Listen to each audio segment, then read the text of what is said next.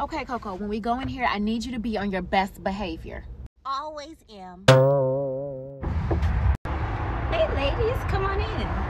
Hey, Zaya, thank you. Come on, Coco. Hey. You guys get comfortable. Let me go ahead and take your coats. Oh, this is nice. You don't have no roaches or nothing. Oh, oh, Coco. Oh, yes, mom. I just asked a question. Oh, I didn't know you had a roach problem, Ava. Oh, I, I don't. It's just Coco speaking Coco.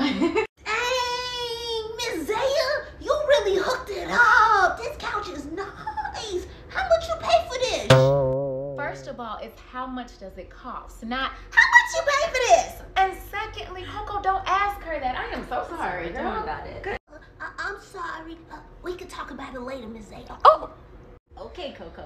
You know she's one of a kind. yeah, that's just Coco being Coco. So, Miss Zaya, does your house always look like this, or you just did this because you have company? Coco. I, I was only asking question. Sorry, Miss Zaya. Nice house. Maybe I can stay over sometime.